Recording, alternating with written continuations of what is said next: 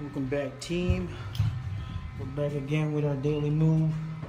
Today is our number five, and Axel's here with me. He wants to come.